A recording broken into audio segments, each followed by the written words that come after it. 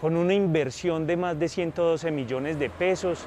En la vereda Granizal, la Secretaría de Obras Públicas viene realizando la intervención de más de 3.790 metros en el mantenimiento y mejoramiento de las vías que conducen a los sectores manantiales y altos de Oriente 1 y 2.